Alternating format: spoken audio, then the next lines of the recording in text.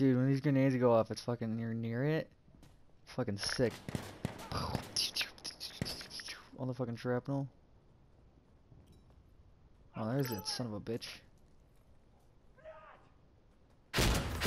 Holy fuck! What in the suicide bomber type of shit that I just witnessed? What the fuck?